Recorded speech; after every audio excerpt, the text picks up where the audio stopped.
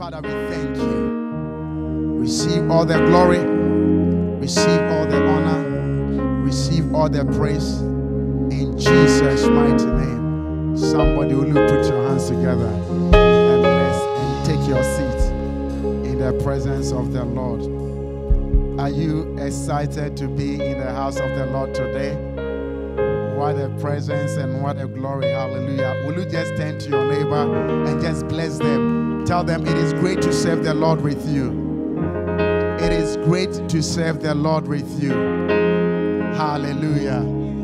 It is great to serve the Lord with you. Hallelujah.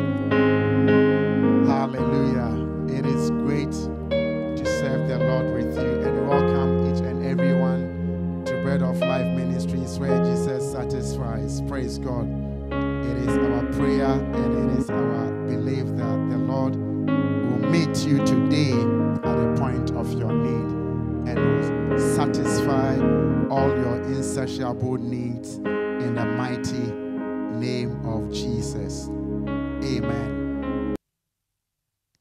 So I was just imagining the things God will do with us. And with you, the Lord will make it happen. Together, God will fulfill his purpose why he brought us into this city for such a time as this. You might be a student in Bristol and you have found yourself here. Don't just sit on your talent and your ability. Whilst you are here, make every time of your stay in Bristol count. Amen. I said to you, this is your father's house. Praise God. When things are not working well in your father's house, you can't sit there unconcerned. Something in you should make you uncomfortable to make sure that it works well. Amen. And many of us have giftings, abilities, and please, we need that gift. It's not just for you. God gave you that gift for his body, the church, for the benefit of the church, the ecclesia. Praise God. Let's do that. Amen. How many of you are ready to receive the word of the Lord for today? Hallelujah. If you are ready, come with me to the book of Proverbs, chapter number 21. The book of Proverbs, chapter number 21. Hallelujah. Proverbs, chapter number 21, reading from the Amplified Version, verse number 30. Hallelujah. We'll just do two verses from that, and we will go on for the scriptures for today.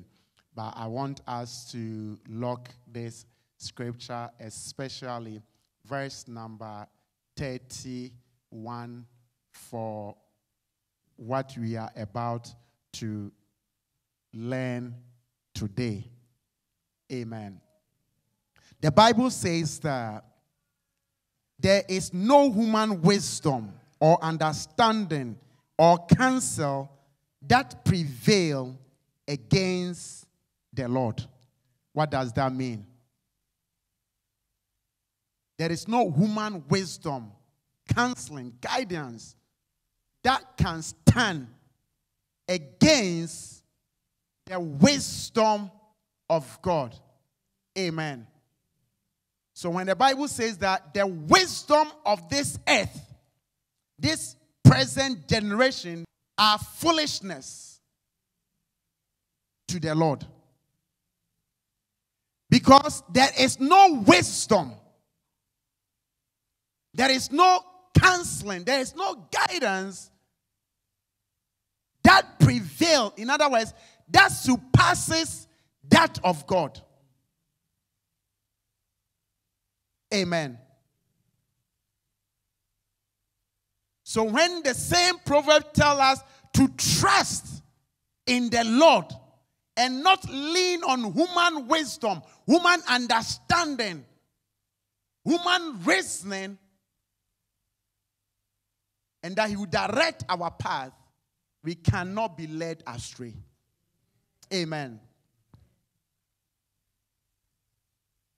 Verse number 31, and I lo- want you to lock this in your spirit. When I say lock a scripture in your spirit, it's going to be an anchor with which we are going to run with. Amen. So don't lose grip of that. The Bible says the horse is prepared for the day of battle. Amen. A horse is what? And how many of us know that preparation takes time? You don't just pitch up at the battlefront. Amen. You don't just show up at the battlefront. You prepare, you strategize. You check your equipment, you check your power, you check your armed forces. Are they capable to go to the battle? You put contingency planning in place. So you don't just pitch up for battle. Bible says a horse is prepared. So preparation has taken place. It, time has gone into readiness for what you are about to encounter. But the fact that you prepare, the fact that you give time, the fact that you spend money, the fact that you put your resources into a thing does not give you success. How many of you have put effort and finances and resources into things that has gone, that has crashed? Thank you that has gone down. The fact that you prepare for the thing does not grant you success or victory. How many of us know that? We have a lot of students here. How many of you prepare to fail an exams? I mean, how many of you? But sometimes we trail on some papers. But that does not make you a failure. It is the exams or that paper that failed, but not you. Because the next time you took it, you pass. The next time you took it, you pass. Amen. So it is not you who fail, it is the paper at the time that fail. Because you have another opportunity to overcome that obstacle. Praise God. So the Bible says that a horse and how many of us know that when you talk of battle, horse, how many, how many of you are into cars? Yeah. Good. When we talk of the power of the car, what is the word they use? Horsepower. Why? Because the horse is elegant animal with strength and power. So even in our modern days, when we're talking of a performance car, we look at the horsepower. The Bible says that a horse is prepared. So you do everything. They are put to training.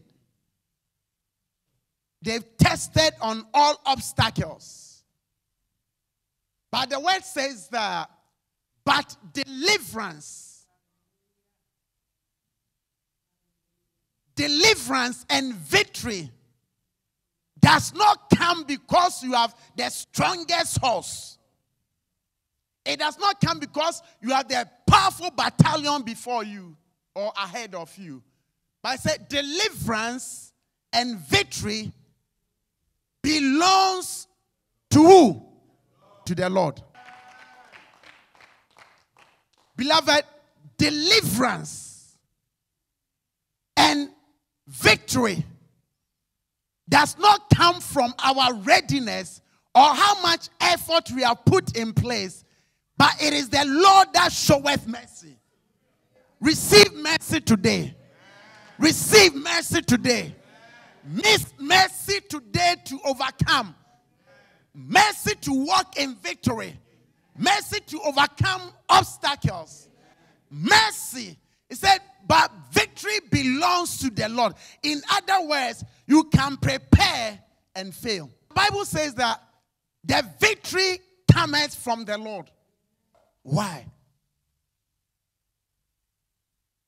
It is the Lord that giveth victory. Now I want you to look in yourself. The fact that victory comes from the Lord does not take away preparedness. Are you with me? It doesn't mean that you just sit there, what will be, will be. Then you'll be sleeping 24 hours, come and you start to call appear, appear. It doesn't work like that. But you will do what you need to do. If you need to prepare, you prepare. If you have to get up at dawn and study, you study. If you have to spend time at the library, you spend time at the library. If you have to hand in your assignment on time, you do that on time. And even as believers, we should do more. We should set a standard. Amen. So the fact that God victory comes from the Lord, deliverance comes from the Lord, does not mean that we will sit there, what will be, will be. So we won't do anything. Let's remove that from our mindset. Amen. So preparation is key. But we don't depend on our preparedness for victory. Are you with me today? It's key. So, whilst we are still here, we will prepare, we will do what we need to do. So, when the opportunity bring itself, at least our readiness makes us a candidate for victory. Then the mercy of God collide with us and the Lord grant us the victory. That is why you go for interview, you are taking, and the other one is not. You are both prepared. Sometimes they have even prepared more than you. But because of the mercy that is upon you, you get selected above your peers or than your colleagues. Somebody shout, Amen. Amen. So, in our year of victory, for the past three Sundays or four Sundays, we have talked about the first victory that is recorded in the Bible Abraham, hallelujah, and uh, King Chedorlaomer.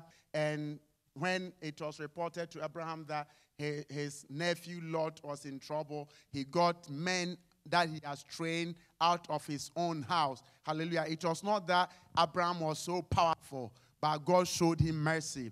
That is why when you come back to the Genesis, let me read the scripture. Praise God. And blessed be God Most High, who has delivered deliverance, victory, who has delivered your enemies into your hand. So, Abraham, Genesis chapter number 14, if you're looking for the reference, 14, verse number 20.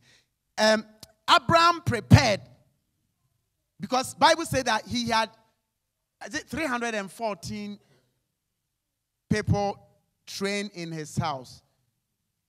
Praise God. From the preceding scripture. Over 300 men out of his own house he had trained. That means that preparation had gone in. So when he went to battle, he did not go in as a novice, he did not go in as unprepared. Praise God. But God delivered his enemy. God showed mercy unto him and surrendered his enemies at his feet. So he empowered those who were too strong for him. Amen. So, in our year of victory, we realize that, and I say by the principle of first mention, everything that happened first in scripture carries through till the end. Amen. So, so will our victory be. The battles that are too strong for us, it is God that goes ahead of us, shows us mercy, and delivered our enemies into our hands. That we become victorious. Oh, I'm speaking to victorious people. I'm talking to men and women who walk in victory. I'm talking to men and women who fear no defeat. For every battle that comes against them, the God of mercy, the God that goes ahead and fight our battles and gives us victory, the same God goes ahead of you and deliver your enemies at your feet to give you victory. If you believe it, shout amen. So the Bible says that even though preparation is key, but our strength, our success, our breakthrough and victory does not depend on how well we are prepared. There are things you have well prepared before, that did not go according to your expectation. And you can also flip back and see times that you didn't give much effort. You didn't give it your best shot, but that became your best experience. It is also true. Have you received something for today? Let's be outstanding. Hallelujah. Father, indeed, you have the final say. Our enemies are not God, neither are our foes God. Father, every word spoken concerning your sons and daughters here, you will bring to glorious manifestation. Transform our lives. Let our lives be a billboard that it will be impossible for our enemies to ignore the goodness and the greatness of God in our lives. Let the compassion of Elohim come upon us that whatsoever that we do as a church, as individual, as a family, will come out of your compassion for humanity and for mankind in the mighty name of Jesus. Accept the sacrifice of our hands. Bless your people this week. This week, let your people encounter business ideas. Let those who have the ideas begin to take actions in the mighty name of Jesus. And let already established business see growth, increase, and expansion in the mighty name of Jesus. We give you praise. We give you glory. In Jesus' mighty name. Amen.